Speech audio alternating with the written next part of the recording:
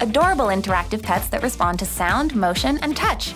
We're going to show you some of the fun ways you can interact with your fingerlings pet. Let's start by unboxing.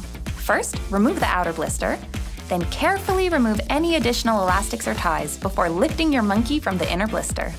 Inside the package, you'll find one Fingerlings baby monkey, ready to go with four LR44 batteries already installed, plus a quick start guide. Ready to play? Slide the switch on the back of your monkey's head to turn it on. Your new friend will greet you with cute monkey babble. Your monkey has special sensors that allow it to respond to your touch in different ways. These are located on either side of her tuft of hair. Tap your monkey's head once or twice on either side of her hair, and you'll get a variety of different reactions. Your monkey can also sense when it changes position. Right side up or upside down, your fingerlings baby monkey loves to monkey around. Why not shake things up a bit? Your fingerlings baby monkey will interact with you in different ways, depending on how she's being held. Let's start with right side up. Pet your monkey to show affection, and your little friend will show her appreciation She'll react differently if you stroke her head once or continuously. But for best results, make sure you're touching both sides of your monkey's hair at the same time. Want a funny surprise? Try cradling your entire fingerling's head with your hand for a couple of seconds. Fingerlings also love to get kisses.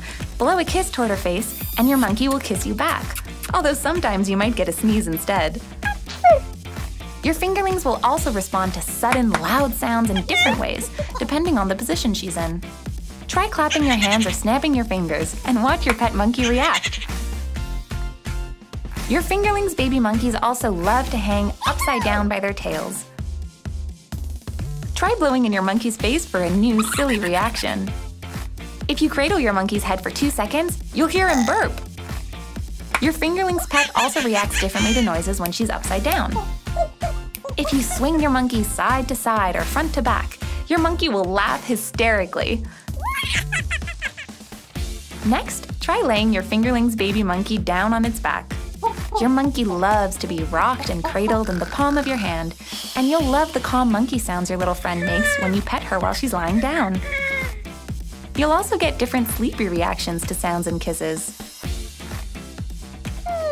Your fingerling's arms and legs are designed to grip onto different objects. Try a highlighter or the handle on your mug, the strap of your purse, the side of a monitor, or even the bookcase in your room. The possibilities are endless. Your fingerlings also love to hang by their tails. Try a belt loop or a pocket on your jeans. Hang them from your backpack, from another toy or playset, or your notebook or tablet. You could even hang them from your ears. And remember, what fingerlings love best is grabbing onto your fingers, of course. Clap twice to get your monkey to sing a happy monkey tune. If you have more than one fingerlings baby monkey, you can make them sing together. If your monkey is left alone for more than 60 seconds, she will whistle out of boredom. She'll try to get your attention a few more times, and if you continue to ignore her, she'll make a snoring sound and go to sleep to conserve energy.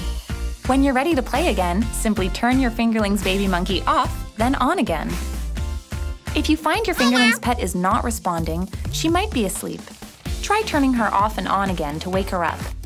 If your monkey still doesn't respond or is slow to respond, it's probably time to replace the batteries. Changing batteries is a breeze. Ask an adult to unscrew the battery compartment located on your fingerling's back. You'll need a small screwdriver for this task. Then remove the batteries with your fingers. If you have trouble removing the batteries, try holding your monkey on its back and gently tap the front of its body. Next, carefully insert four fresh LR44 batteries. The battery direction should match the polarity shown inside the battery compartment. Remember not to mix and match old batteries with new batteries, and be sure to use batteries of the same type. Next, replace the battery cover, being careful not to over-tighten the screws. Now you know some of the things you can do with your new interactive Playmate. For more information,